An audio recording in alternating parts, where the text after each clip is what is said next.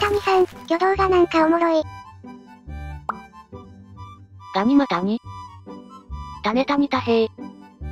大谷ってなんかおもろいよな。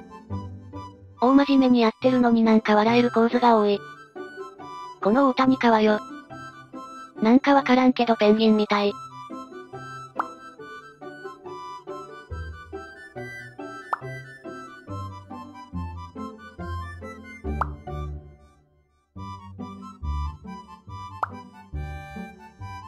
大谷の本当の魅力は顔芸だよ。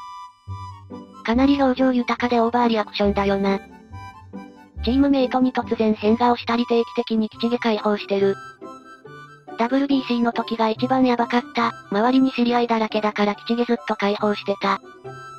中身はただの野球が大好きなクソガキだからな。